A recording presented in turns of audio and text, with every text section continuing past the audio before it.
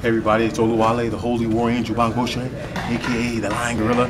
Listen, man, um, I've been at Duke, Duke Roufusport University, MMA University for about four days now.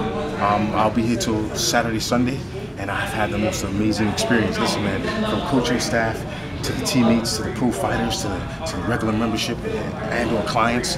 This is a fantastic gym, man. Especially if you're a pro fighter, this is the gym to be. You know, there's uh, there's at least 10 or more UFC fighters here who get it in, man, and it's encouraging to see that. You know, being that I'm a UFC fighter myself. So, uh, Duke Roufusport. I can't wait for the next visit. I can't wait to work with Duke and for, with the rest of the team. Guys, thank you so much for the for the embrace. Love you.